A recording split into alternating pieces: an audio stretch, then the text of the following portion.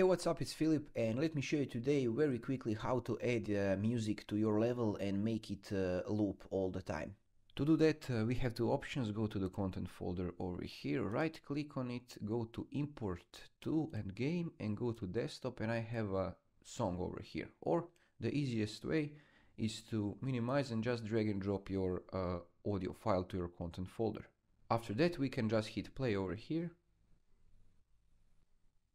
and now all you need to do is to drag and drop this uh, sound asset over here in your level. And let's go up and go with the location to be 000 and if we go and play level you can see the you, you can see you can hear the music. If you want to uh, loop that music make sure to double click on your music asset. Let me just bring it over here and if you go over here under the sound looping make sure to enable this loop so the music will loop all the time.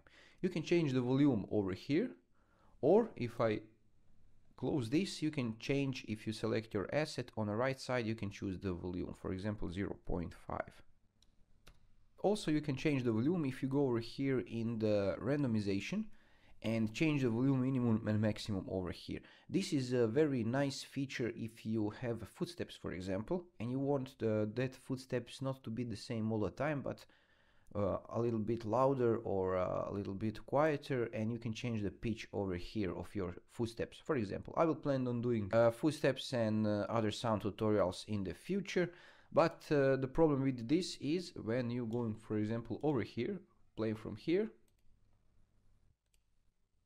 you will hear the same music uh, throughout the level uh, with all the same uh, loudness. It's a good theme for another tutorial, so make sure to subscribe and uh, check it out the channel for uh, new videos uh, every week. And this is it. If you find this helpful, let me know in the comments below. Drop some likes and subscribe for our new content every week. Thanks for watching and have a nice day. Bye bye.